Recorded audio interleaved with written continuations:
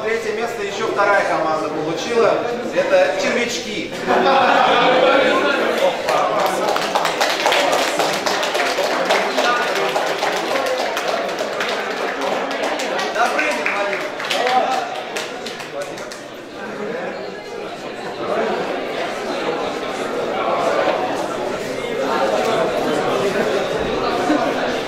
Тихонов Егор.